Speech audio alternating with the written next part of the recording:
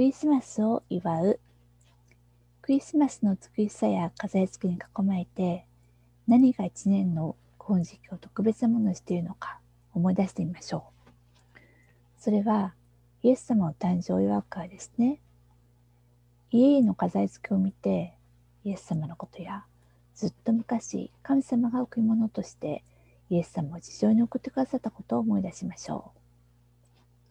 ではクリスマスの飾り付けをしましょう。まず、クリスマスツリー。木が雨宿りや安全な場所を提供してくれるように、神様もご自分の子供たちを見守っておられます。神様は一年中緑のままのもみの木のようです。私たちの祝福は神様から来ます。次はキリストの降誕の場面。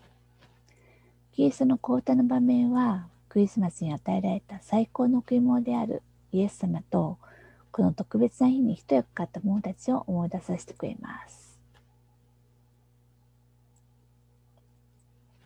そして天使。イエス様が生まれた夜には神様がその良い知らせを伝えるために天使を使わせましたね。クリスマスライト。クリスマスライトはイエス様が世の光であることを思い出させてくれます。イエス様は私たちの暮らしと心に光と愛をもたらしてくださいます。星。クリスマスツリーの一番上に飾る星は、私たちをイエス様のイエス様のもとに導いた星を思い出させてくれます。この星は、イエス様が世の光であることを告げ知らせます。その輝きはすべての人をイエス様のもとに導いてくれるのです。雪の結晶。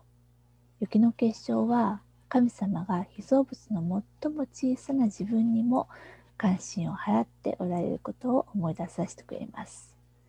もし神様がこんな小さな被造物にまで気を配っておられるなら、ご自分の小さな子供たちはより一層大事に思って知らせてくださるとわかるのです。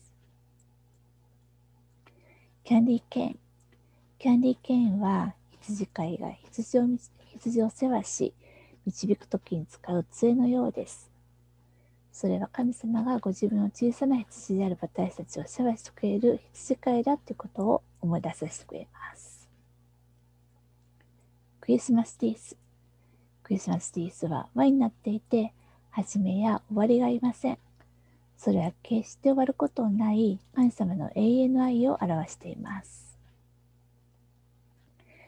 プレゼント。プレゼントをあげたり、誰かを喜ばせるために時間をかけるときには、昔、博士たちがイエス様に持ってきた贈り物のことを思い出しましょう。贈り物は前の人たちと喜びを分かち合う方法でもあります。白い鳩。白い鳩は神様の精霊や毎日の暮らしの中に感謝がおられることから来る安らぎを思い出させてくれます。鐘。昔は素晴らしいことがあるときには、町や教会の鐘が応用のためになされました。イエス様の誕生も素晴らしいことです。ですからクリスマスには神様の愛の食い物であるイエス様が来られたことを祝うのです。おしまい。